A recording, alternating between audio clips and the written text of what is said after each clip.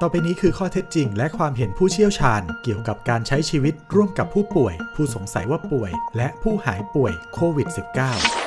ศูนย์ชัวร์ก่อนแชร์สำนักข่าวไทย อสมท สอบถามกับอาจารย์แพทย์สาขาวิชาโรคติดเชื้อ ที่โรงพยาบาลรามาธิบดี อาจารย์ย้ำหลักการสำคัญขั้นต้นที่เราทุกคนต้องยึดถือ สิ่งที่สำคัญที่สุดถ้าให้เรียงลำดับก็คือการล้างมือจะล้างมือด้วยสบู่ธรรมดาเชื้อก็ตายแล้ว หรือว่าเราจะล้างด้วยแอลกอฮอล์ก็ได้ อันดับที่ 2 ใส่หน้ากากถ้าหากไม่ได้เป็นที่แออัดแล้วก็ไม่ได้มีใครป่วยอยู่ เราใช้หน้ากากผ้าธรรมดาสำหรับประชาชนทั่วไปก็เพียงพอแล้ว แต่ว่าถ้าหากคนในบ้านเราหรือตัวเราเองป่วยคล้ายๆ มีอาการทางระบบทางเดินหายใจ อันนี้ก็คือใช้หน้ากากอนามัยทางการแพทย์จะปลอดภัยกว่า แล้วก็อีกอย่างหนึ่งก็คือไม่ว่าเราจะไปที่ไหนแม้กระทั่งอยู่ในบ้านเนี่ยเว้นระยะห่างสัก 2 เมตร แล้วก็เปิดหน้าต่างให้ลมถ่ายเทดีกว่าที่เราปิดหน้าต่าง เพราะว่าอากาศมันจะไม่สามารถหมุนเวียนได้สำหรับผู้ที่มีความเสี่ยงติดเชื้อ หากเป็นไปได้ก็ควรแยกเดี่ยว ก็ยังเป็นหลักการเดิมอีกเช่นกันนะคะ ก็คือเรามีระยะห่าง หรือถ้าเป็นไปได้ดีที่สุดก็คือแยกห้องนอน แยกห้องน้ำแยกของใช้ส่วนตัวไม่ปะปนกันเสื้อผ้า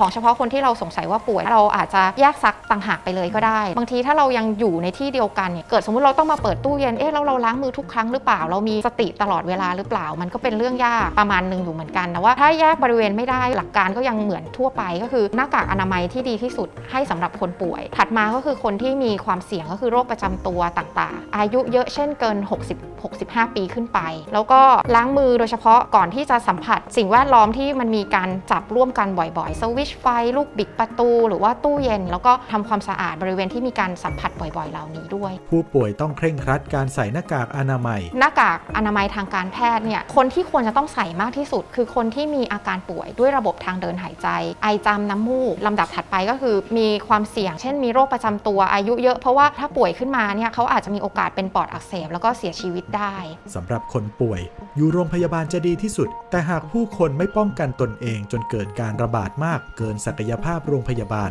ผู้ป่วยบางคนอาจจะต้องอยู่ที่บ้านจำนวนเตียงมันมีอยู่จำกัด ถึงแม้เราพยายามจะขยายแล้ว แต่ในอนาคตถ้าเคสยังเพิ่มขึ้นเรื่อยๆ ก็ไม่น่าจะมีเตียงพอ เมื่อถึงจุดหนึ่งโรงพยาบาลอาจจะสามารถรองรับได้เฉพาะคนที่มีความเสี่ยงสูงที่จะเป็นปอดอักเสบรุนแรงหรือว่าเสียชีวิต ส่วนคนที่ป่วยอะแต่ว่าไม่ได้อาการรุนแรง โดยทั่วไปก็คือเหมือนไวรัสไข้หวัดใหญ่จะสามารถหายได้เองอยู่แล้ว อาจจะต้องดูแลสุขลักษณะ เน้นเรื่องการล้างมือการใส่หน้ากากการเว้นระยะห่างในที่อยู่อาศัย แล้วก็ดูอาการถ้าหากว่ามีอาการไม่ไหวอย่างเงี้ยถึงจะมาโรงพยาบาลสำหรับคนที่หายป่วย และกักตัวเองครบกำหนดแล้ว การใช้ชีวิตร่วมด้วยก็ไม่เป็นอันตราย แต่ปัญหาที่ได้ยินมาก็คือในหมู่บ้านเขาหรือในคอนโดเขารู้ว่าเขาเคยป่วยมาก่อน เขาไม่สามารถกลับเข้าไปใช้ชีวิตในสังคมปกติได้ คือคนที่หายป่วยแล้วเขาก็เป็นคนเหมือนเราทั่ว ๆ ไป เราไม่ควรจะไปแบ่งแยก ถ้าหากว่าหมอดูแล้วว่ามันปลอดภัยแล้วก็คือปลอดภัยแต่ว่าคำว่าปลอดภัยในที่นี้ ทุกคนก็ยังต้องอยู่บนพื้นฐานการปฏิบัติตัวเรื่องสุขลักษณะต่างๆ อยู่ดีนะคะ ถ้าทุกคนมีความรับผิดชอบต่อตนเอง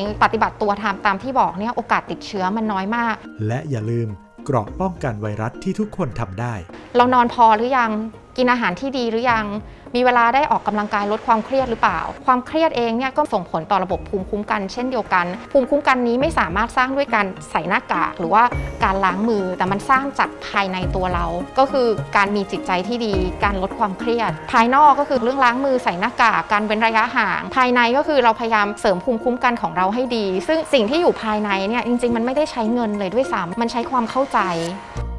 สนับสนุนโดย กองทุนพัฒนาสื่อปลอดภัยและสร้างสรรค์